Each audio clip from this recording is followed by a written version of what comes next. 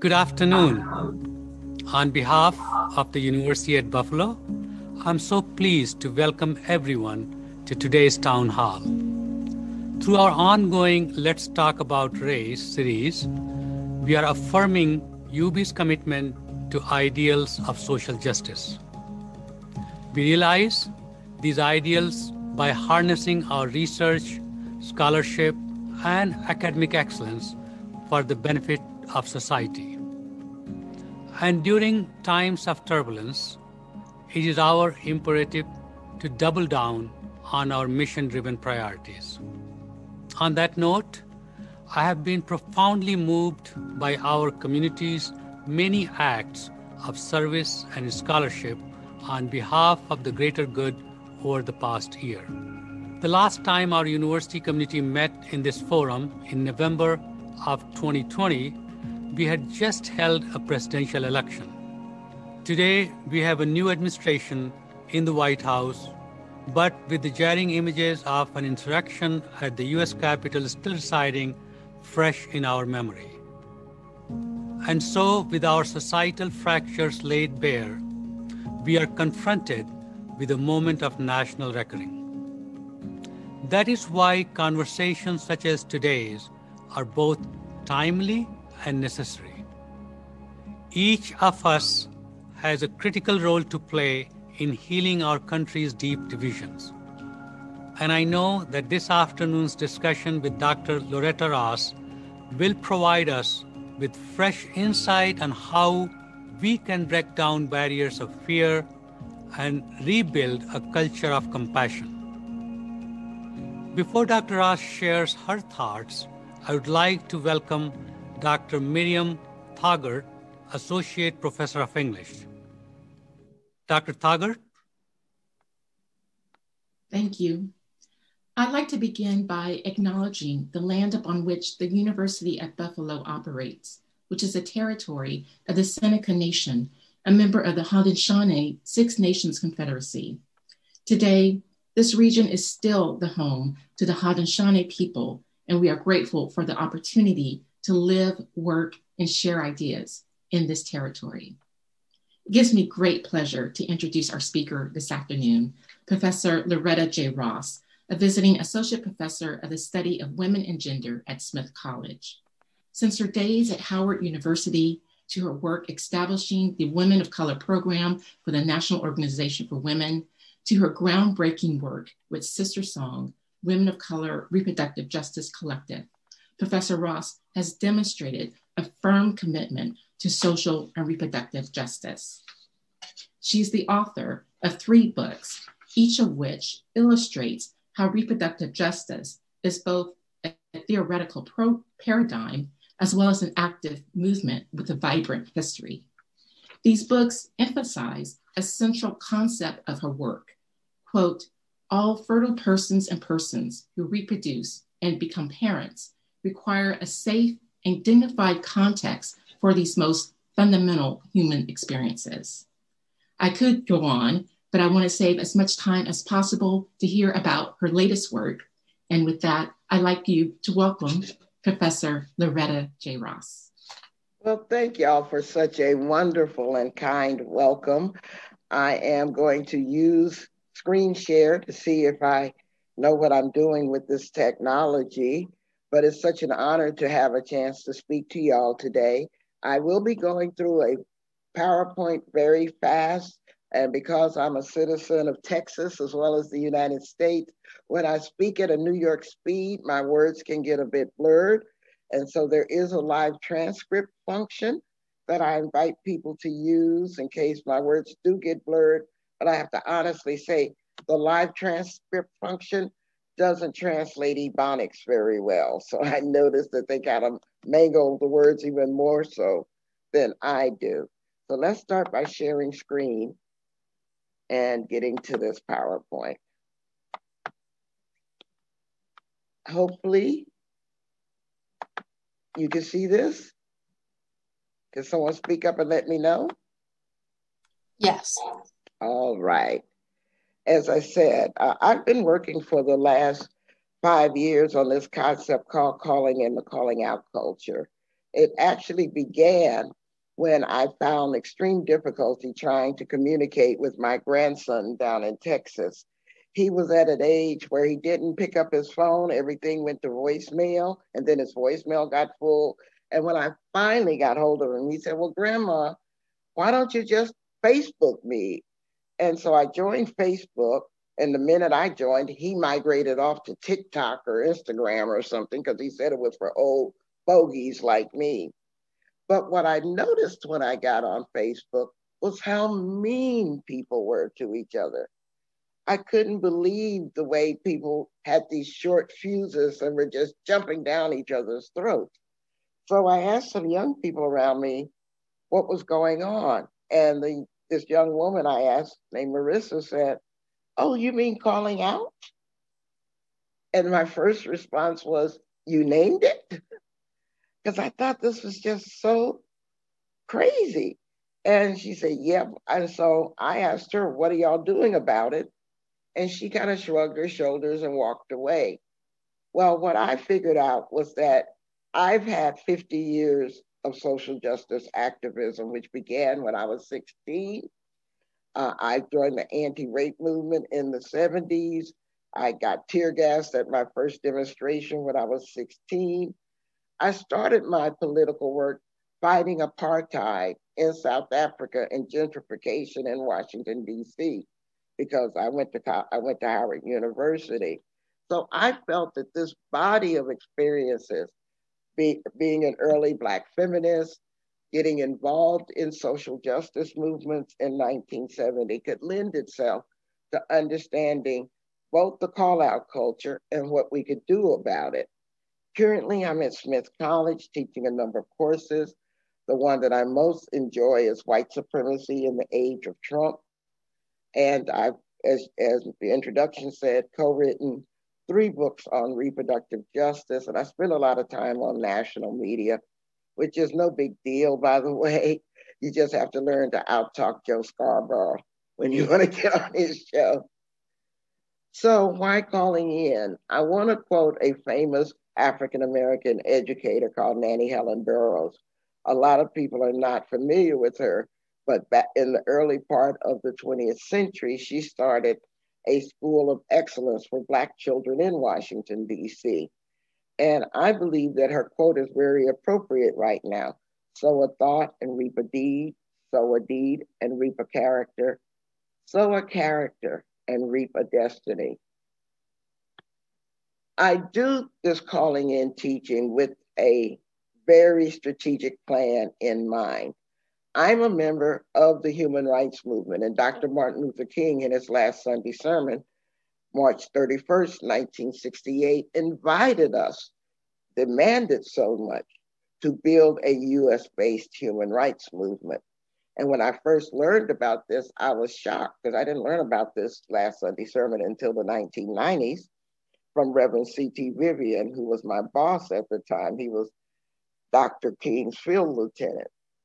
And when I heard about this demand from Dr. King, I realized then that if I didn't know about it, maybe a whole lot of other people didn't know about it. So that's when Reverend Vivian and I founded the National Center for Human Rights Education. But I consider myself part of the women's rights wing of the human rights movement because I care about racial justice and white supremacy, I'm also part of the civil rights wing of the human rights movement.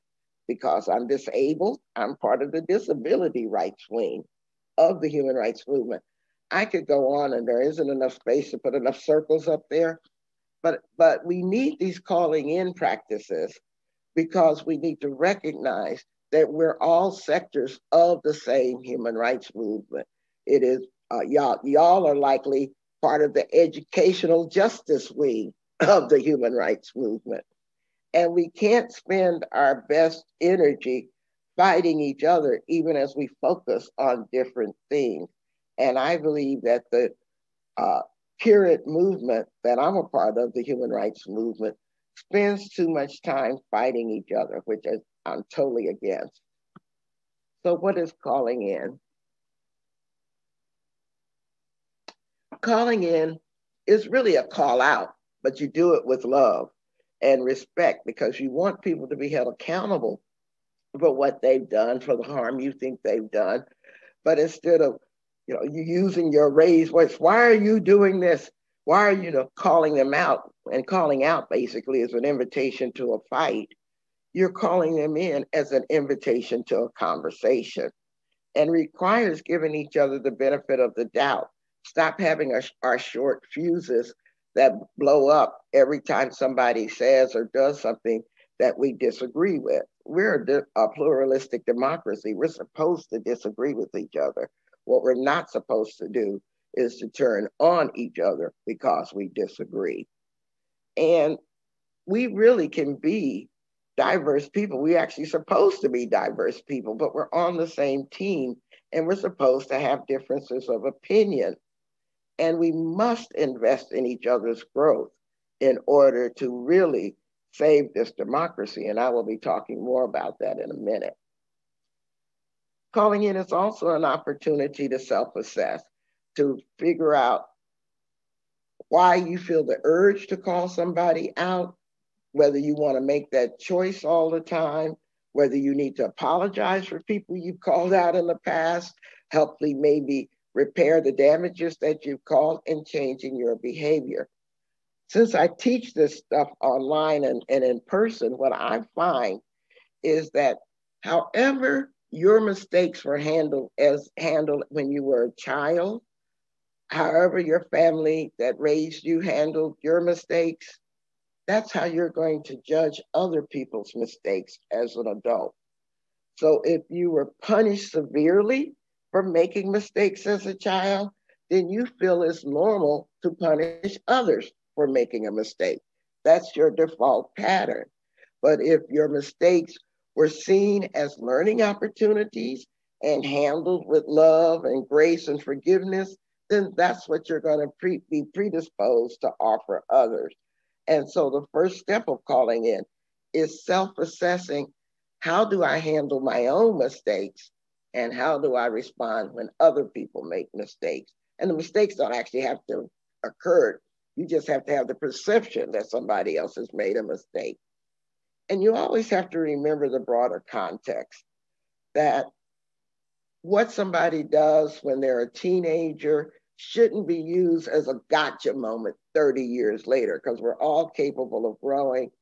Everyone is as complicated as you are. So you always have to remember that broader context. And that requires staying calm, sometimes putting a pause on your emotional reaction so that you can invite somebody to clarify what they said, kind of like, well, when you said that, I'm not sure what you meant by that. Is it okay for us to go out and have coffee so that I can get a better understanding of what you're thinking or what you mean? And of course, this requires using active and loving listening practices and be thankful that you've had this opportunity to grow together and to learn more about each other. Actually, calling in is a continuum. First, there's calling out. As I said, we all know what that is. It's that publicly shaming of people for something that you think is wrong. It can happen in real life, it can happen uh, over social media. It happens a lot within the universities and the academy because we're taught that the best way to offer any kind of new insight ourselves is first call out the people who've gone before us and every dissertation and thesis I've ever read starts with, well, so and so said this and they were wrong, and now I'm going to correct the record. I'm going to get it right. And so we teach it as academic rigor, but it's becoming academic rudeness. Well, so we all know what calling out is. Calling on is an intermediate step. It's an opportunity to demand that the person who's done this microaggression or said something that you think is incorrect or behaved in an incorrect way, it's an opportunity for you to just stop and use a useful phrase that I love called, I beg your pardon. And you just sit there and let that lay there. And that gives the person the opportunity to review what they said or what their behavior was You don't have to call them in, you don't have to call them out. You give them an opportunity with your patient listening for them to figure out if they want those words to land the way that they did. And so a lot of people find calling on uh, a demand that people do better a very useful intermediate step. And I beg your pardon, everybody can remember. Now, calling in is at the end of the other end of the continuum from calling out. That's when you are in a sufficiently healed place to invest in another person's growth. That means you can put your response in the parking lot of your brain while you pay attention to the person and help them, in fact, see themselves more clearly, help them understand the impact of what they've said or done, and really help both of you learn how to be better together. But it does require not only emotional intelligence on your part, but it also requires an emotional investment. And the first thing I want to say about calling in is that you don't have an obligation to call anybody else in. Your first obligation is to see to your own healing, to see to your own preservation. So calling in has to be a choice that you make. Uh, there's a useful metaphor from the book that Cherríe Moraga and Gloria Anzaldúa wrote in 1981 called This Bridge Called My Back. And when you are serving as a calling in bridge, you need to recognize that that is a position that must be voluntary because by definition it's a very invisible position. Because when people are crossing a bridge, going to a new understanding, they're only paying attention to two things, where they're coming from and where they're going. The last thing that they're noticing is the bridge itself, unless it starts wobbling or something. And if you're not in a sufficiently healed space, you're going to be that wobbly bridge. And so that's why paying attention to your own needs is important so that you can prepare yourself to be a bridge if necessary. But that's why it has to be voluntary, as I said, because it, it's a choice to be a bridge builder versus being front and center with your needs.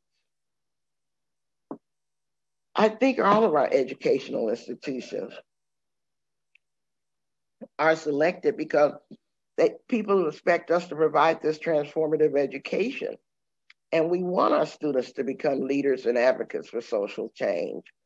And we've got to implement transformative teaching, but sometimes it risks backlash from donors and parents because people, you know, can get threatened with job loss if they address controversial topics.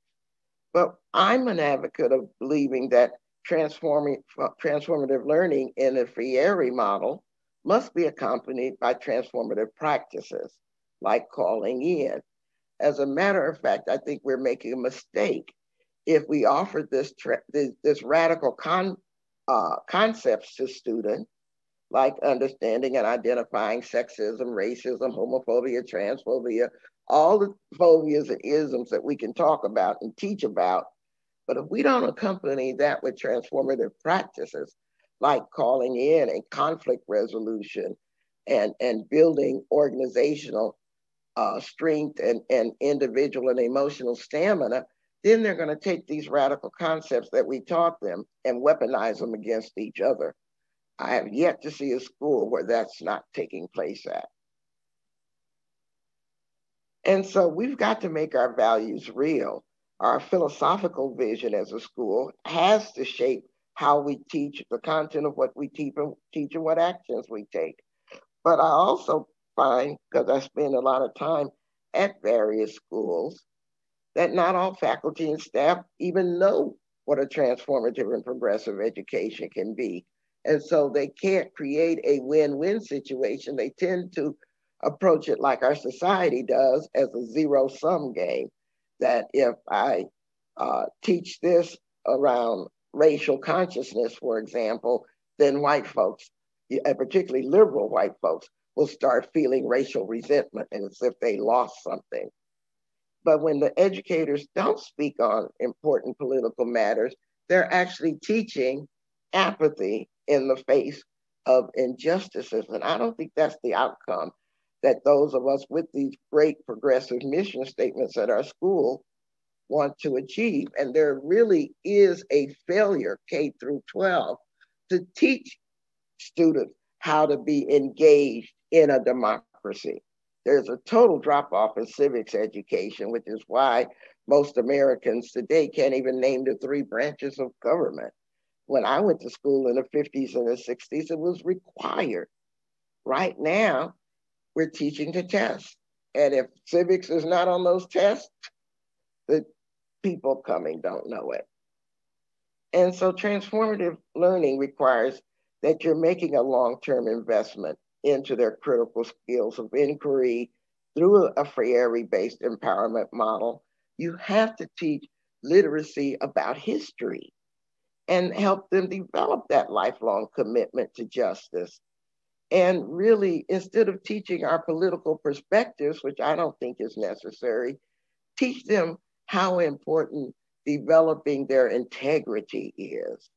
Because, as I believe, your reputation is what other people think that they know about you, but your integrity is what you know about yourself.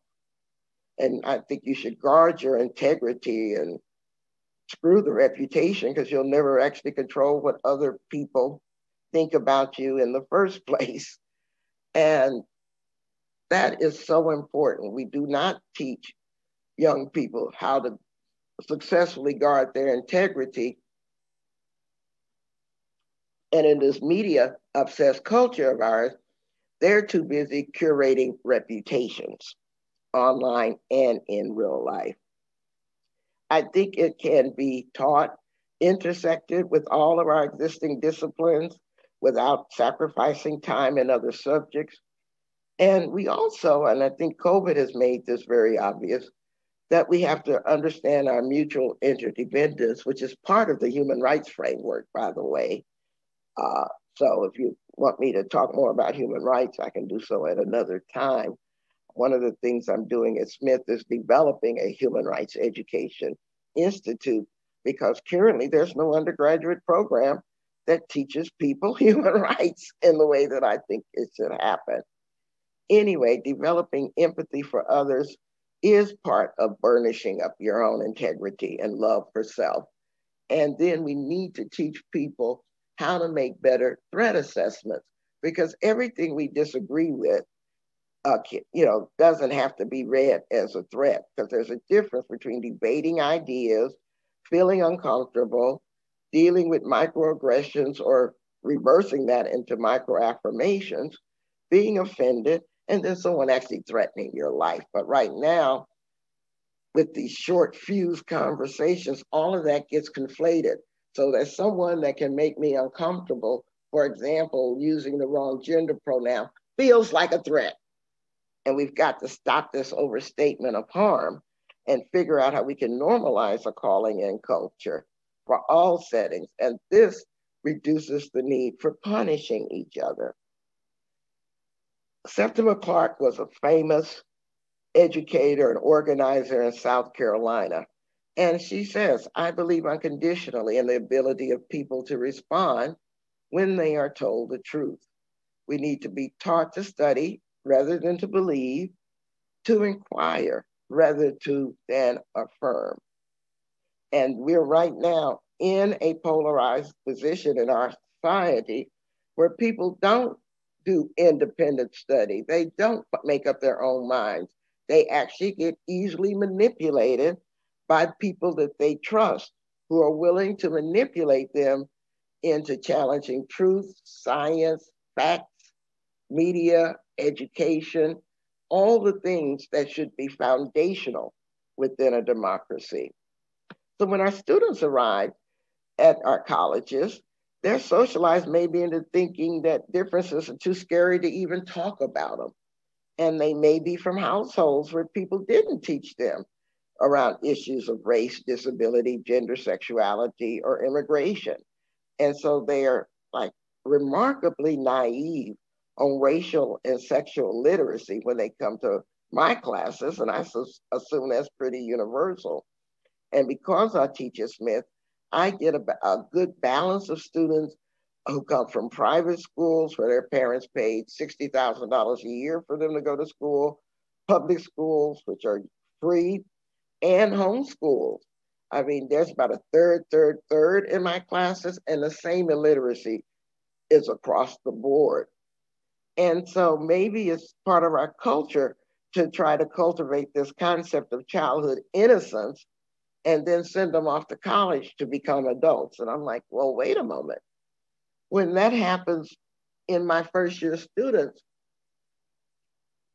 and I'm giving them a larger view of the world than they previously saw in their home environments, the first thing they do is get angry at their parents and start distrusting everything that they've been told to date because they're like, why didn't my mom and dad tell me these things? Why am I just now hearing about this stuff? And I don't think it's fair. I think it's actually bad parenting to send a child out into the broader world so ill prepared around protecting their innocence. And even worse, they, they're taught that being colorblind is a good thing, yet that reinforces racial illiteracy in particular.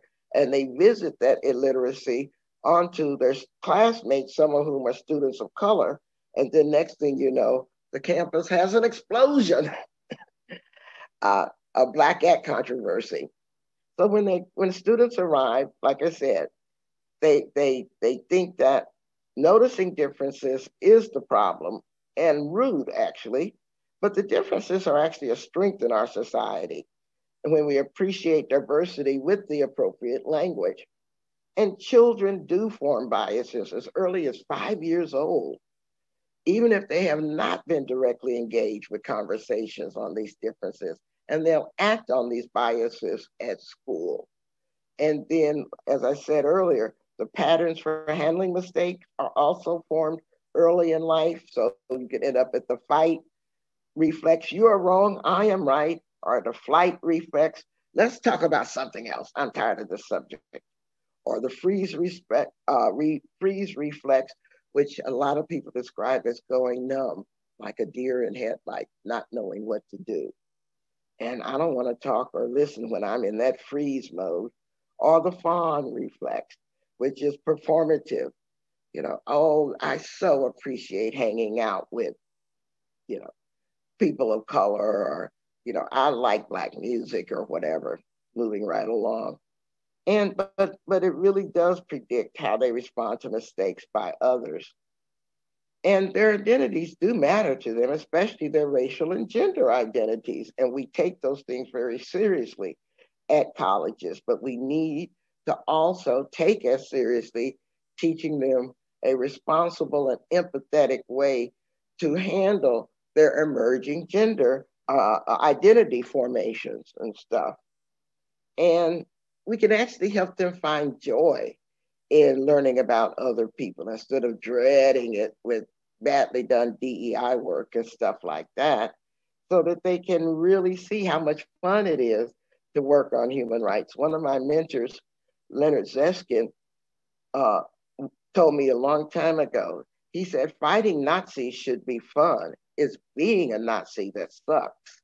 And if we don't help people find joy in doing human rights work, they might rightfully say, why would I want to work with you when you're going to make me feel worse than before I met you? We have to figure out a way to do better. And I think part of that is calling in. I cannot tell you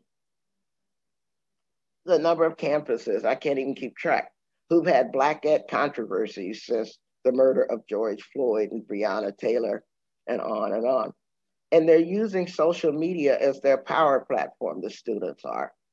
And it creates an opportunity for racial reckoning within the campus, and it provides an opportunity to look at the school's mission statements and make them palpable in the life of students.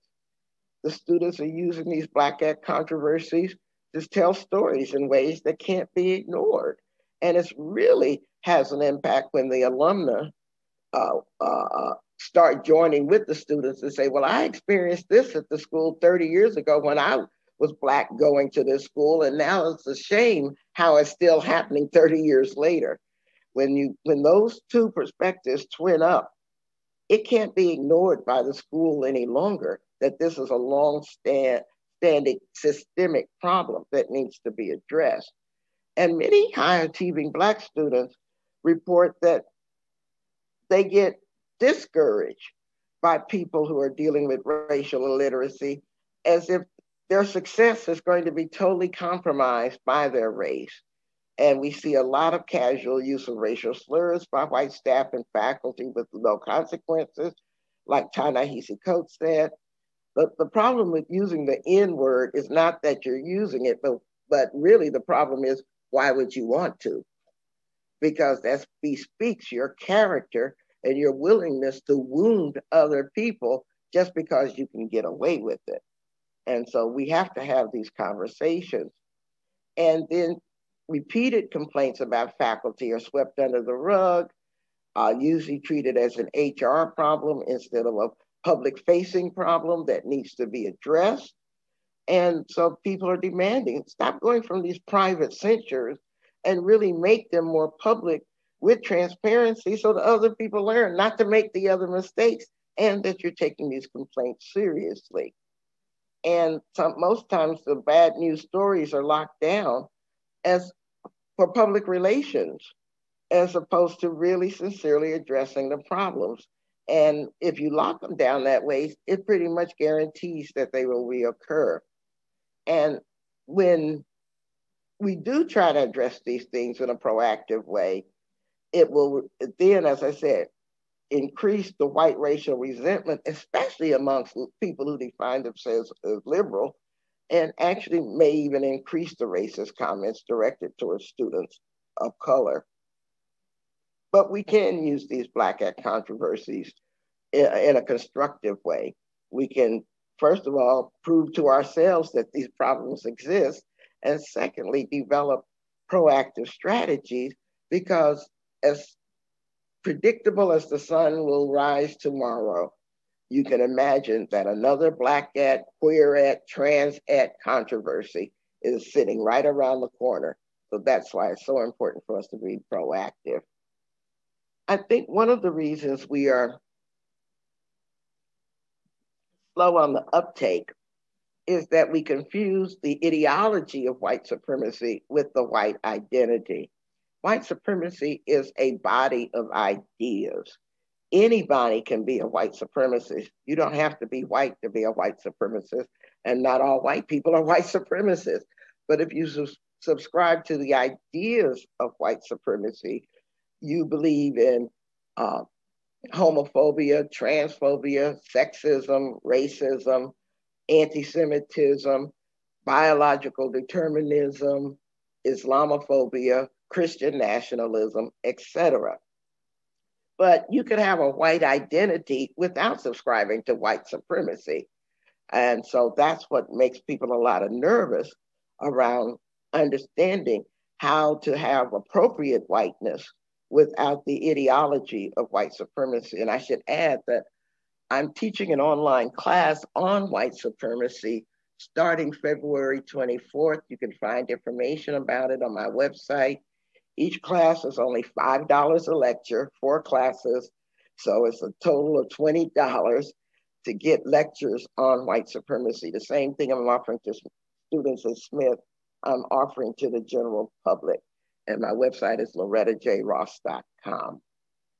And I think one of the problems is where whiteness studies has landed us because whiteness studies is almost predicated on the assumption that being white is the problem. And, and I understand whiteness is a social construction and so is blackness and all of that, but I'm not here to debate postmodern theory. I'm just trying to say that whiteness studies, when it starts at a foundation by with the presumption that being white is a problem, they tend to land at believing that people should somehow figure out a way to be less white and I'm like, how's that supposed to work? How can people change characteristics that are beyond their control and then left feeling guilty and shameful for things that they can't change. And it scares them out of saying, you know, of doing anything. That's what Robin DiAngelo, problematic as some of her teaching is, calls white fragility. And we end up with our human rights movement spaces becoming public therapy sessions for people processing their emotions around whiteness instead of taking action to build what I really desire to see, which is white courage. And this whole race blind, color blind stuff and pretending to be so really reinforces an unconscious superiority complex and ignores white privilege. One of the most frustrating things I experienced in doing interracial work as, as, as organized by white people is when they have this false humility of we want all the people of color to speak up first and you white people you step back because white people of color voices have been too suppressed. I'm like really? Is that the best you can do to piss off all the white people because people of color are now privileged to, to speak up when most people of color don't need saving by you i mean this whole thing is very complicated but moving right along so to develop our racial courage, we have to have intentional work. We also have to become less judgmental and stop being the blame and shame gang calling each other out. Oh my God. The funniest thing that I experienced working up in the Pioneer Valley is every time I meet a white person who's really trying to work hard on becoming a an anti-racist white ally, they immediately after they tell you your their tell you their name and what they do, they start rolling out what I call the black people resume. Oh, I have a black friend. Oh, I dated a black guy one time. Oh, I'm the parent of a of, of a racially different, meaning non-black, a non-white child, or blah blah blah. Or I know this black person. Do you know this person? Kind of thing. And it's kind of I, at first I used to be offended by it, but I've learned to just be amused by it because I asked myself, I wonder if they would see what they're doing if I roll out the name and relationship of every white person I know in my introduction to them. I mean, but they're really earnestly trying to separate themselves from those other white people who are part of or, or embrace the whole white supremacist framework. And so I understand and appreciate the effort but we've got to develop better skills, better tools, and more courage in doing it in an appropriately white way. And that's one of the things that I'm working on. Um, but I think people can learn from their mistakes and practice and have these meaningful conversations from the first day and throughout our entire learning process when we come to campuses and you know turn the conversations around from being difficult into being joyful. One of the things that helps is separating the concept of blame versus responsibility because no one alive has constructed the system of white supremacy that we're dealing with, but we all bear responsibility for ending it. It's like the metaphor that Isabel Wilkerson uses in her book, Caste, where she talks about moving into a house with bad plumbing and you're not to be blamed for the house's plumbing being bad because you just bought the thing. But at the same time, you bear a responsibility for fixing that plumbing if you intend on living in and benefiting from that house. And so if you see white supremacy through the lens of that metaphor, no, nobody alive created this system of white supremacy. But if we plan on living in a democracy that is not destroyed and overturned by white supremacy, then we need to accept the responsibility for ending white supremacy. So blame becomes an unhealthy response responsibility is a much healthier response. Mab Segrest is a friend of mine. who joined me in doing anti-fascist work in the 1990s when I worked with Reverend Vivian. Mav was on my board of directors because she had started an organization called North Carolinians Against Racist and Religious Violence. But she's written this wonderful book because Mab's family was in the Ku Klux Klan. And of course, she had to reconcile that family history also with the fact that she was coming out in Alabama as a lesbian in the 1970s and what she had to deal with within her family as well as politically. And she writes that white people need to learn to love ourselves. White people should work with other whites against racism, and middle class whites need to deal with their own class biases to do so. And I'm quoting Mab because when we say, when Black people say, go talk to your own people, that doesn't mean go talk down to your other to other white people. Don't try to virtue signal how woke you are against the other white people who you believe aren't as woke. When I teach white supremacy and calling in in my classes, I show people the two contrasting pictures of the Statue of Liberty. On the right is the one where we're is the is the photo that we're most familiar with, representing freedom and coming to a liberated land, based on that Emma Lazarus poem that we're all familiar with. But when France gifted this statue to the United States, most people didn't know that there are broken shackles around her feet because they awarded us or gifted us this statue because they were celebrating the emergence of America as a democracy after the enslavement period. So the Statue of Liberty represents the end to slavery, not the welcoming of immigrants. So it actually could be read that way, but really, France was very intentional putting those chains, breaking those chains around the feet of liberty. And when we're teaching about the Statue of Liberty or the, the, the tenuous nature of American democracy, we're not we're not talking honestly about the choice that's before us in the that faced us in the past or the ones in the present. And we're in the middle of America's unfinished Civil War. Of course, we saw that January 6th at the US Capitol. And this whole myth that America is divided is being pushed by the media, media, because the reality is that the country is not divided. White people are divided over the choice of chaos or community. And this is the question that Dr. King asked. Because white supremacy and democracy are fundamentally incompatible.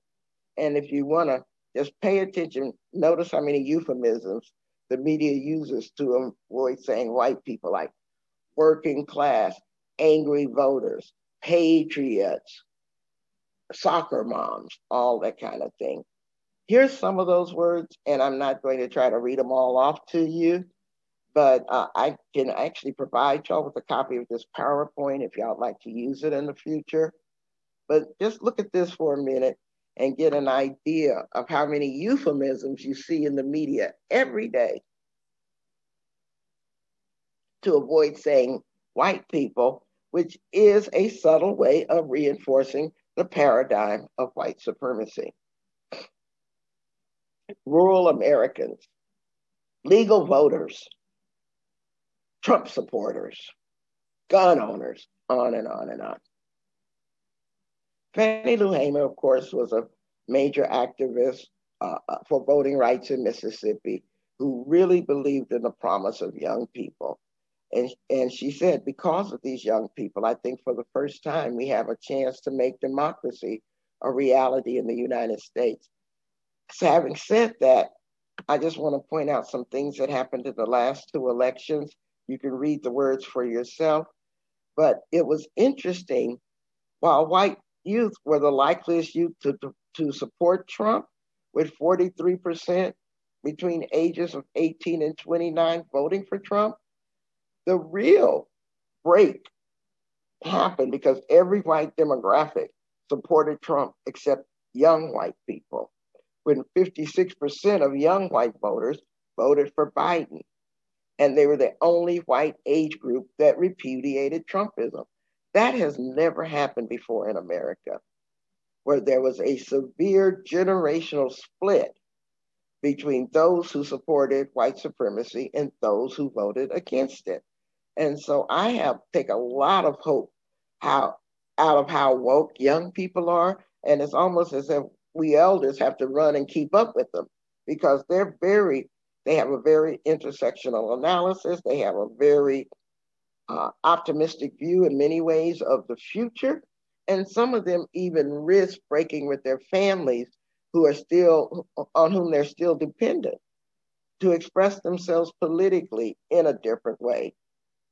Uh, because I'm running out of time, I'm not going to spend a lot more time on these on these slides, except that a lot of these young people that we're talking about who are now young voters come from new new American communities, not so new, but basically saying that they are communities that are now taking their place in controlling and dictating our democracy. I think that one of the things driving Trumpism is this fear of uh, what they call white grievance anxiety, as well as white extinction extinction anxiety, because in a few, few short decades, white people will become one of many minorities within this pluralistic republic of ours.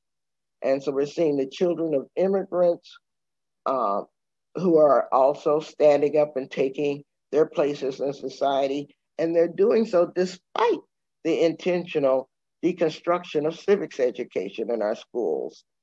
And many of them only know Obama as the president. So they actually had, you know, the normalization of a different type of president than their previous generation. And so, like Ta-Nehisi Coates spoke about in his brilliant article, Trump is therefore their first white president whose only qualification was his whiteness, because it certainly was the fact that he was competent in any kind of way. And they are not single issue voters. They prefer an intersectional approach.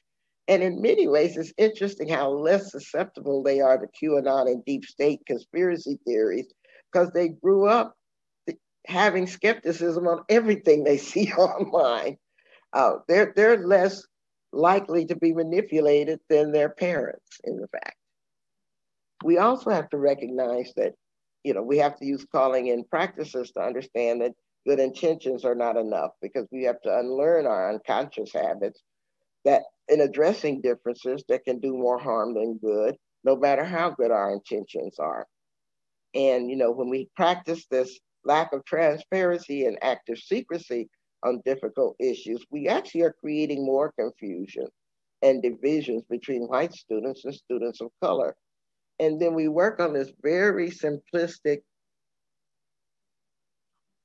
binary worldview that assumes that race issues are only for students of color to learn about, gender issues are only for female students, disability issues are only for students who are disabled, queer issues are for GNC students, on and on and on. And so we offer this very binary, simplistic framework that actually undermines our good intentions. And when we exclude students from these conversations based on identity, it actually can backfire and again create that subtle white resentment or you know increase the microaggressions or the outright aggressions that can take place and then it leaves the burden of explaining these things onto the students instead of it being the adults who are supposed to say, wait a moment, this is how things really need to work. And so we've got to foster these uh, innate empathy skills as a leadership development process so that we can help them build healthier relationships in life. It doesn't even matter if the call outs are good or bad. Uh, it doesn't, it's not based on a particular membership in any group. Everybody makes mistakes. How we handle them matter. If people make mistakes and are offered a chance to do better and don't, this is when I call them out. But if people make mistakes and they're offered a chance to do better and really commit to doing better, this is when I call them in. And it really is important to define harms versus discomfort and teach people how to handle getting called out on social media and in real life. Again, I'm going to reinforce that we need accurate threat assessments. Our goal is to become a calling in champion, not a calling out problem, and to think about these things differently and really accept that you could live a joyful but imperfect life. This pursuit of political purity that people are pushing is a false solution. And again, I cannot say enough about guarding your own integrity and determining how you want to walk in the world. One of the things that people who have fallen down the rabbit hole of the call out culture tell me is that they don't like what they've become. They don't, they make a lot of decisions that they can't look into, look at without shame. And they don't want to do the calling out stuff anymore. And I think that's why I attract 700 people uh, every Tuesday night to my calling in online lectures because people are desperate for another way to walk in the world. And it's not intended to swallow the hurt, but to call people in, which does take a lot of courage. And of course, when you try to do this, you're going to increase your troller and hater traffic. So that's why you need to understand that you're doing the right thing and you're fighting the good fight in a much better way. So this is calling out, criticizing other people's social perspectives, banishing people because they're not woke enough, seeking that political purity of opinion, and sometimes using social justice activism to boost one's ego or standing in community. Most calling outs end up being magnified, and Natalie Wynn talks about this. First of all, there's a presumption of guilt instead of presumption of innocence. So if somebody says something that is seen as racist or sexist, nobody questions it. It just says, yes, it must have been racist or sexist, unless they're into denying it. And then that will risk them being called racist or sexist. So it's really a complicated thing. And then it goes from being called the thing that they did being called racist or sexist, it gets abstracted so that then it becomes attached to their character. There's not that so and so said something that was racist, but so and so is a racist. That's the essentialism that happens quickly. And then the people who make these accusations are using a kind of pseudo moralism or intellectualism. I know it's racist because I've read da da da da da. I believe in so and so and so, or you know, I'm a better person than they are. I'm less racist than that kind of stuff. And it creates this whole culture of unforgettability and unforgivability, uh, where the person who is called out is damned if they do and damned if they don't. So that if they try to offer an, apolo- an apology for the behavior, it will be immediately cast and read as insincere. But if they don't offer an apology for the behavior, then they will be read as trying to evade accountability.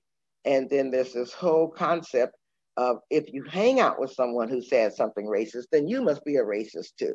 And so you end up with this inflation, uh, guilt by association, contamination thing. And all of this is based on false binaries good versus evil, gay versus straight, trans versus cis, on and on and on. We have all these false binaries that make people very judgmental and basically sabotaging our ability to work together. And it replicates the system, uh, the, the prison industrial complex that we're trying to avoid. It discourages people from learning it frightens people into speaking up. A lot of people are afraid to speak up for fear that they will be called out themselves. And then when they do speak up, they're gaslighted as if their truths are not real or something. And it drives people away from it.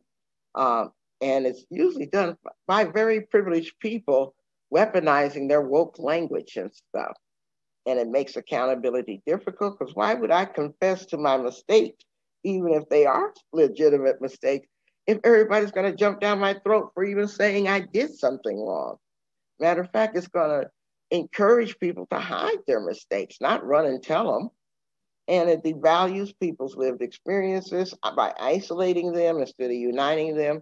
But most importantly, it makes people cynical, feel hopeless, feel like nothing can be done. I'm at 1255, so I want to stop the share and see where we are on a time check.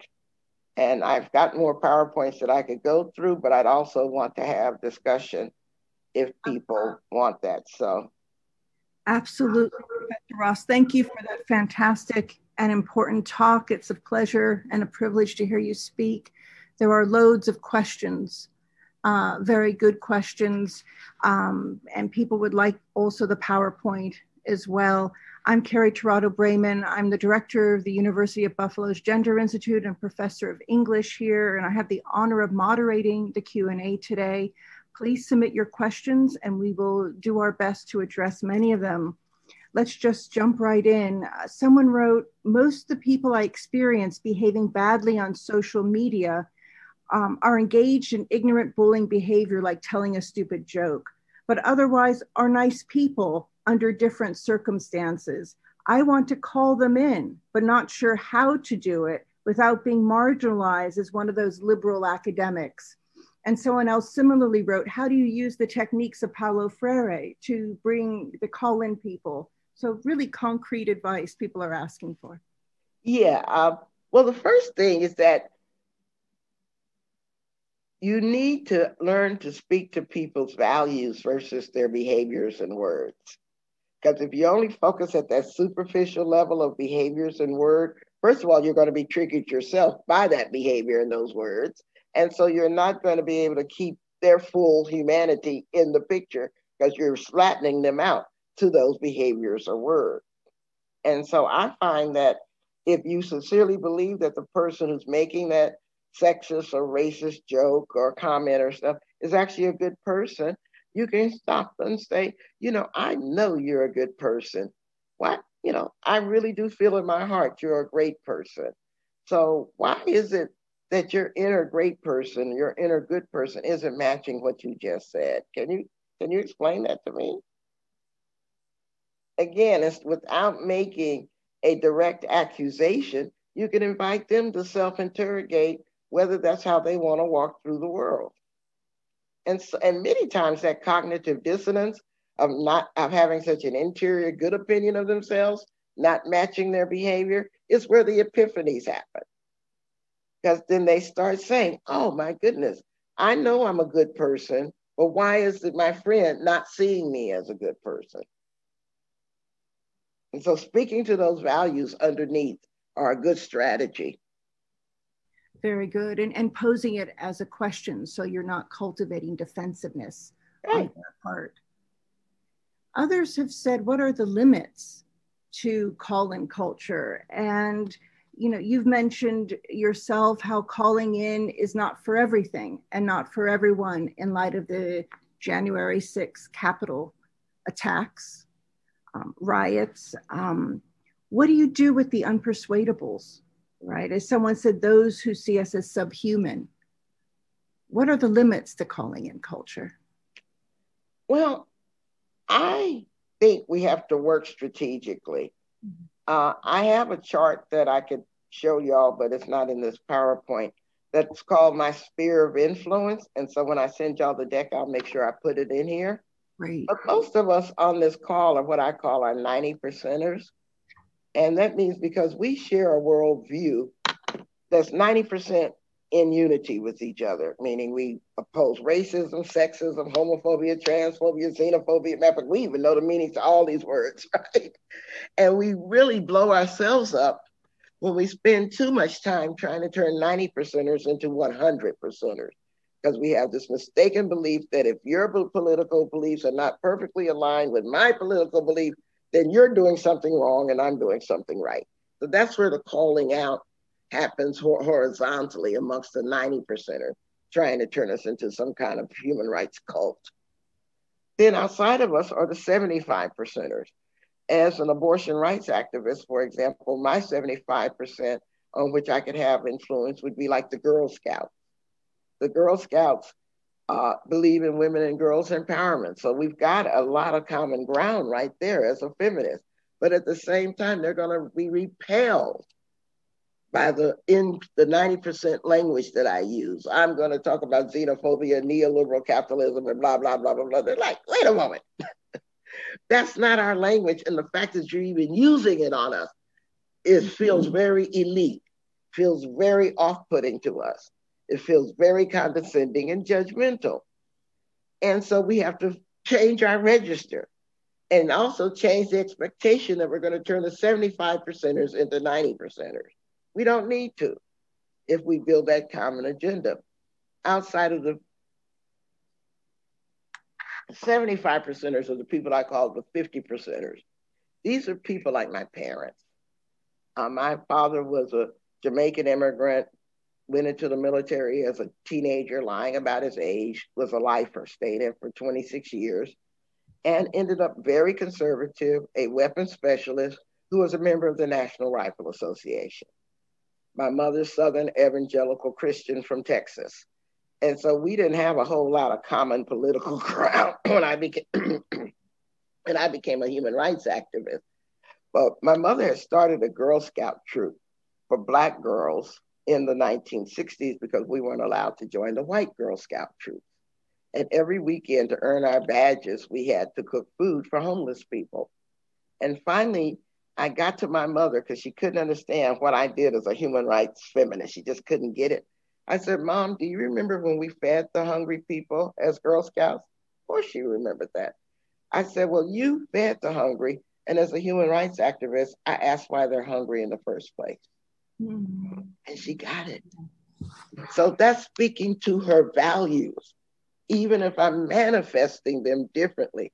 So everyone in our sphere of influence, even if they're at that 50% level, has values that we resonate with that we can speak to.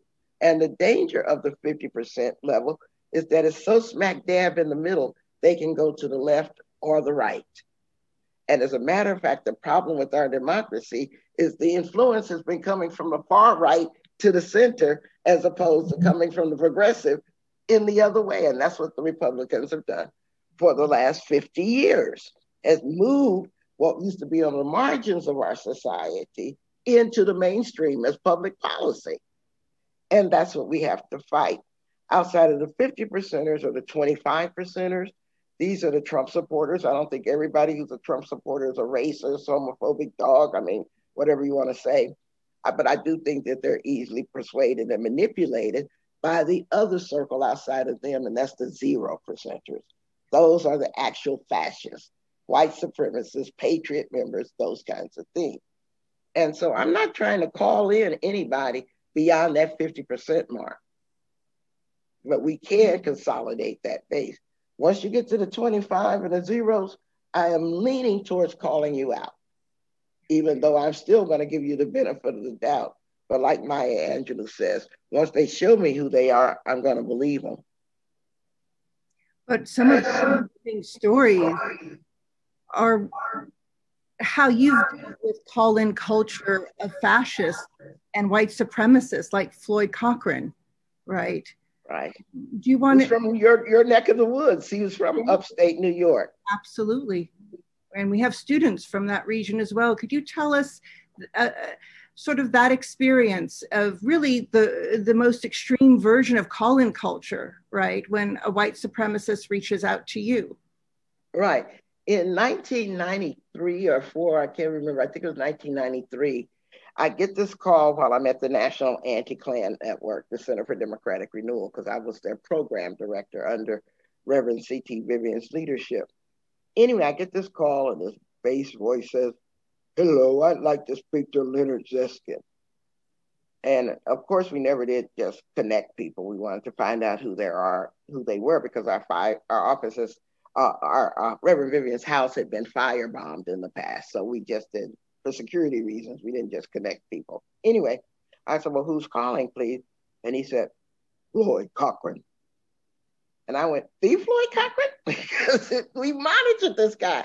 At the time, Floyd was the national spokesman for the Aryan Nations up in Hayden Lake, Idaho, working with Reverend Pastor Richard Butler and stuff. So he was very famous for those of us who monitored hate groups. And so I didn't, you know, I was I was in disbelief that he was calling us, but it turns out that the reason Floyd was calling us was because his second son had been born with a cleft palate, you know, with the lip thing. And uh, his Nazi buddies told him that his son was a genetic defect who needed to be put to death. And that was a wake up call for Floyd. Now, Floyd had joined the Nazis when he was 14 years old because he was a small, white, skinny kid who got bullied in upstate New York. And then he found that when he put on the Nazi uniform, nobody bullied him anymore. Instead of him being afraid, everybody was afraid of him. So that mm-hmm. bespeak to how these alienated young white men are being radicalized by the normal brutality that they grow up with. And they could go either to the left or the right, but a lot of them end up in the hate movement. And so Floyd had his epiphany, and that's why he reached out to us, largely because Pastor Butler kicked him off the compound for asking too many questions about this white supremacist Nazi fascism that he believed Floyd had believed in from 14 to 35. And um, he wanted to go on a tour of atonement because he also had recruited, he was a, a great recruiter of racist skinheads. He brought a lot of young alienated people into the hate movement because of his own personal experiences. And he got to know the Bible really well. So he would go to Christian camps and stuff like that and use those as platforms to recruit people into the hate movement, into the Aryan nations. And so he wanted to go on an atonement tour because he had recruited these two brothers from Allentown, Pennsylvania, called Freeman, who came from a stable middle class family. You wouldn't even think that they were alienated because they had uh, apparently up until that time good relationships with their family. But one weekend they came home and murdered their entire family the mother, the father, and their 12 year old brother in Allentown. And so Floyd felt very guilty about that. And so that was his atonement tour. And I went on it with them. And, you know, a lot of people thought we were on tour together because he left the Aryan nations because he's fallen in love with a black woman, which was not true. Um, Floyd had a relationship with the woman, the mother of his kids. And I'm not in I'm not in the habit of falling in love with skinny Nazis, but that's what everybody wanted to believe, you know, about us. But the, I'll conclude this story by saying that a lot of people believe the Hollywood stories that people have these changes of heart when somebody shows them the way, or they fall in love with somebody, or that's uh, someone penetrates the group and flips them, and that's just Hollywood usually they have their own epiphanies long before they even reach out to somebody who can help them re-enter normal society and stuff. So don't believe the hype that you can just go in and flip somebody in that zero percent thing, because most likely you will end up getting flipped simply because you're naive and impressionable. And listening to Floyd Cochran's story and the guilt and the remorse he had made me think about seemingly negative emotions like anger, like guilt, do you see those negative emotions as having a constructive value for social justice movements? I find anger a very self defeating uh, uh, uh, emotion. First of all, I have a tendency to internalize my anger. I don't exhibit it outward, I actually exhibit it towards myself. And so it, I, I prefer to use outrage at injustice instead of anger at individuals as my motivation because outrage is an outward facing emotion for me, where anger is an inward facing emotion. Guilt, I don't think is useful for anybody. I mean, guilt should maybe, maybe can accompany when you've actually done harm and, and you want to uh, uh, make reparations for the harm you've done, that kind of thing but it, it's got a real short shelf life as far as I'm concerned. And the more you feel guilty and bring that to the human rights movement, the more you're going to assume the human rights movement is a public therapy space to absolve you of guilt. And so within our movement spaces, it, it doesn't work at all well. Um, and so I, it was actually through therapy that I started to work on my anger against the rapist who had raped me when I was 11 and the guy who committed incest against me, who was a cousin when I was 14. I was so unbelievably angry at men, I, and particularly black men, that I had to have real good professional work on my head. Because uh, I had five brothers and a dad. And, you know, so I had to balance good men in my life versus bad, bad men who've done terrible things to me.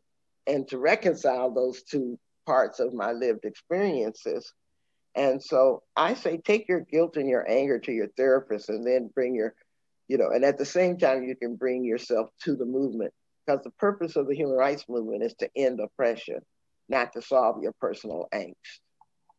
And you say that op in in your powerful op-ed in the New York Times in 2019, don't you, where you say your concern is that uh, social movements are turning into therapy sessions, and they're distinct and they need to be distinct. Did you want to clarify um, that point? Well, I think I've said a lot about it because I think that's one of the unfortunate consequences of a couple of converging tendencies. First of all, I think it's where whiteness studies has landed us.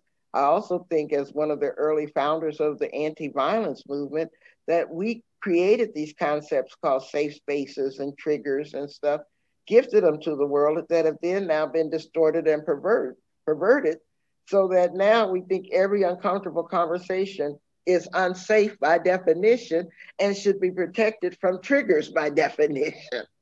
And of course, that's just inhibited, inhibiting frank and honest discussion about difficult issues we need to have. And so, as far as I know, a trigger, which I'm very susceptible to myself, is an involuntary jettisoning of my consciousness back into a, a previously experienced trauma. And it's so involuntary that I can't pull myself out of that that out of that trauma, you know, because this glass wall of memory is in the way. And it takes a professional to pull you out of a real trigger incident. And so what I've learned is that if you can still tell what year it is, you're not being triggered, you're being discomfited. Mm-hmm. An important distinction. Someone has written in saying, Are there other things that white people who are trying to be anti racist Black allies should be doing in addition to calling in? Well, one of the things that I emphasize in my white supremacy class is learning about the concept of appropriate whiteness. Mm-hmm. Uh, uh, it's a coined, it's a term that I coined in the 1990s because whenever hate groups came to town or a hate incident arose, um, there'd be three groups of white people. There was the anti-racist action group that wanted to go out there and fight them just want to fight them and hold a demonstration and have 200 good white people against five Klansmen, you know, and fight them and fight them and fight them, which of course ended up in a narrative that the Klans were the victims because they were so outnumbered and usually it's by, you know, it was a very patriarchal way of responding to, to, to, to hate groups because it was always men wanting to go out and fight other white men. It was like funny. But not so funny when you know the narrative of them as victims got reinforced. Then the second group of white people, which often was the largest set, wanted to ignore it and say, this is just an aberration. We don't want our town, you know, to get a bad name. We, we don't, they underreport hate crimes. Uh, they can be in law enforcement as well in the media and stuff like that. We don't want our reputations damaged because they are not us. They do not represent us. It's their framing. And so they want to ignore it. But that works about as well as ignoring cancer. So that's not a good strategy. And then there'd be people in the middle who wanted to know what to do. They knew they didn't want to get into the anti racist slugfest, but they also didn't want to turn a blind eye to it. And those were the people that I defined as striving to be appropriately white. They wanted to take pride in their white identity they wanted to be able to say, I'm white and I'm proud without sounding like somebody in the hate movement. And so I'm spending a lot of time since the 1990s working on developing that white courage um, on an appropriate whiteness. That's what I think people need to work on. Linda Alcoff has written a wonder book, I think it's called The Future of Whiteness. That is a good place to start. A L C O F F, Linda Alcoff. I may be misquoting her title, but I think it's called The Future of Whiteness. And it's kind of like, for me, one of the best discussions I've seen so far on appropriate whiteness. Wow. Another question, and we'll we'll wrap up. I think in a in a in a few minutes. But there's so many questions coming in, and really people wanting this question of tactics. And I think this concept of appropriate whiteness and courageous whiteness are very helpful and very powerful You mentioned uh, in an interview about the racist incident in Starbucks of two black men hanging out, and a white woman filmed the altercation that happened with police. And you said, well, that's a moment of courageous whiteness when she filmed it and posted it, right? So there's where calling out in a constructive and tactical way is a form of illustrates what you're saying about a form of courageous whiteness. Absolutely, absolutely. And I suspect that whenever, see what happens in our society that's so dedicated to white supremacy, that when you stand up against it, then you start getting reviled, attacked. I mean, look at what happened to the seven Republicans who voted for impeachment because they voted their consciences. And then they, they have to return back to communities that want to censure them, that want to do death threats against them, against them and all of this other stuff.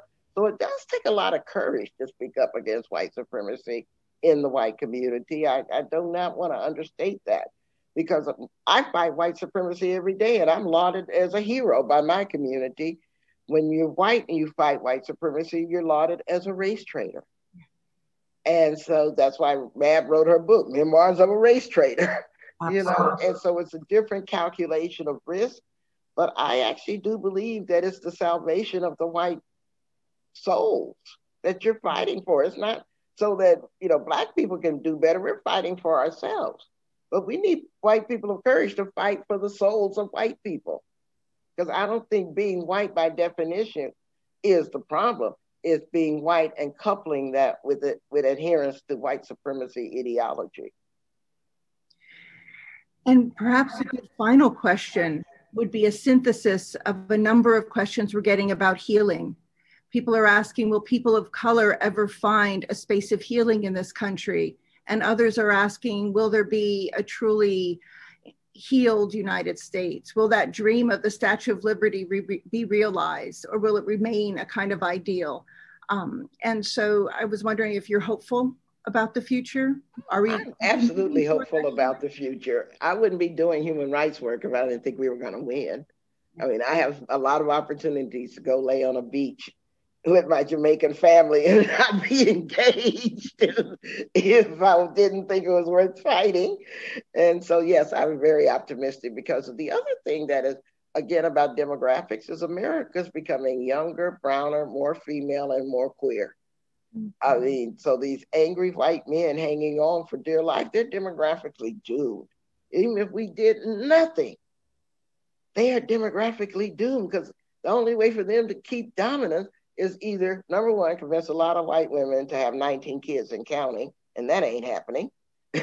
or number two, establish an apartheid like system where a minority hangs on to power. I don't think that's happening either. And I'm really encouraged by the split in the white community. When I said um, whites are divided, whites have not been that divided in, in, in the history of America, where there's an open repudiation of white supremacy and the fact that young white people are leading that is is very encouraging for me. Now, in terms of healing, I find doing this work to be all the healing that I need. I mean, but I also have to say, in practical terms, I party as hard as I work. And I play competitive pinochle and I like kicking ass over a card table. And I watch tennis because I'm going to be watching uh, Serena and Naomi Osaka tonight. Uh, and I love bloody contact sports because I was raised with five brothers and I'm a Dallas Cowboys fan, unashamedly. So I try to have balance in my life. I, I have a toggle switch where I can turn the consciousness off and just enjoy being alive. And that's how I've been around for 50 years. Well, thank you so much for your wisdom, for your vision. And I have one personal question to ask you. Mm-hmm. And it's a word you've been using frequently in interviews, and it's a powerful word. And I'm not sure I understand the meaning entirely, but you're arguing for grace. And grace is a discipline, grace as a kind of muscle that you cultivate in large part. And I was wondering if you can talk about that as we as we conclude. The word grace became more visible in my work when I saw what happened to the parishioners parishioners of Mother Emanuel Church, where the nine people in, Char- in, in, in Char- Charleston were killed. And Chris Singleton, one of the sons of, of, the, uh, of his mother who was killed in that massacre, he gave a very poignant interview where he said that offering forgiveness and grace is my way of reclaiming my dignity and not letting that murderer stain my life forever. And, and so he sees it as a form of regaining power and dignity and not letting the person who did the most harm to him rule his life forever. And so he saw forgiveness and grace as a as as a um, as a reclamation of self. And it's the hardest thing he's had to do. He said some people see it as a sign of weakness, but I don't. I see it as a sign of my power to offer that forgiveness and grace. And so I always said, after I heard his interview, well, if, if he can forgive somebody for murdering his mama, I can forgive a whole lot of other people. Very good. Thank you. And those are to conclude by. Well, thank you, Professor Ross, so much for your time and for thank y'all for having me. And I look forward to working with y'all in the future. I hope so. And for those of you who want to stick around, please look at our website at the UB Gender Institute. We have Barbara Smith coming on March 10th. Oh, tell Barbara hi for me. Yes, I've seen your 110 page interview with her in 2003 in the Smith Archive. Uh, so stay tuned for an evening uh, with Barbara Smith at 7 p.m. on March 10th. You can sign up on our website. And this has been such a high point for me personally to talk to you, Professor Ross. Thank you again. And thank you all for joining us. All right. Bye bye. Bye bye.